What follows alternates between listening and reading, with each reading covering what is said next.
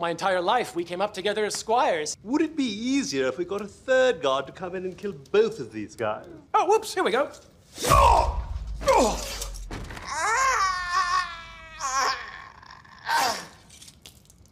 Good work. Hey. You know what your problem is? Is it that I've got a fatty deposit the size of a giant gourd on my back? Hunchback. Oh. Morning. The Royal Torture Chamber. Back to the daily grind. guys psyched for Pope Week? Oh my God, here we go. Another Pope, Week. I love Pope Week. Who wants to see an exorcism? Welcome to the Papal Lottery. Winner of the lottery shall have his private confession heard by the Pope himself. Quasi, you won. Hunchback, no. Do you have any idea the questions he'll have for me? Holy Father, can you fix my hump? Is not my very existence proof there is no God?